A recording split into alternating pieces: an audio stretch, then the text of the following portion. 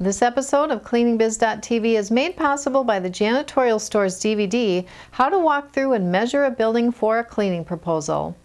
In this DVD, you'll learn how to prepare for the walkthrough, how to interact with the prospect, what questions to ask, how to measure a building, and more. I'm Jean Hanson, and this is a show that will help turn your vision into a successful cleaning business.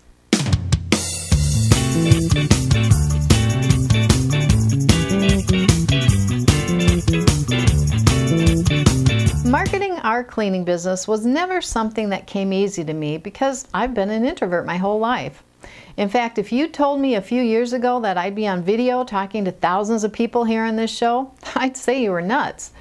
But becoming an entrepreneur has taught me a lot about marketing over the years, and I've discovered that changing the way I think about marketing made a huge difference for me.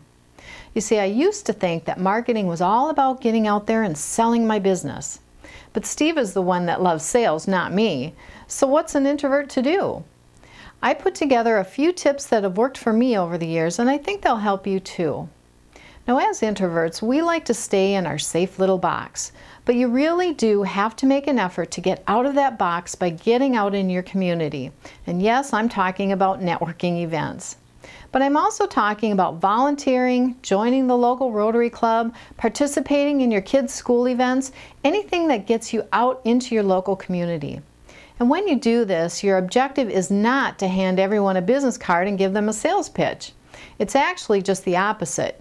Your objective is to learn all about the people you meet so you can get to know them and start making new friendships. I think one of the best pieces of advice I ever got was to think of prospects as friends you haven't met yet. You see, I used to think that whenever I went to a networking event, everyone was a prospect and I had to sell them on what I do. I finally realized that networking was a lot more fun when I took that pressure off myself and just started making friends. It's also important to remember that not everyone at networking events is your prospect.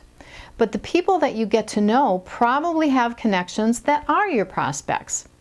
So focus on getting to know people rather than turning them off by trying to sell to them. Once they get to know you, it's you they will think of when they get the opportunity to refer a cleaning company. My second piece of advice is to share your knowledge, and there are many different ways to do this. One way is to take advantage of those short 5 to 10 minute presentations at your networking events. It gives you the opportunity to raise awareness of some aspect of your business that most people don't know. For example, color coding microfiber cloths to avoid cross-contamination. Now to us, that's old news. But I'll bet if you talk about color-coded microfiber cloths, every person attending your presentation is going to go back to work to see if their cleaning company uses color-coded cloths. Now I know getting up in front of people to speak doesn't feel like something an introvert would do or should do. But believe me when I say your networking friends want you to be successful and if you do a short 5 or 10 minute presentation on a topic you know well, it's much easier than you think. And here's a bonus. It's going to help your self-confidence because you'll feel good about your accomplishment. Another tip is to offer the same kind of information through your social networking sites. Post short tips or write blog posts and then link the articles on your social networking sites.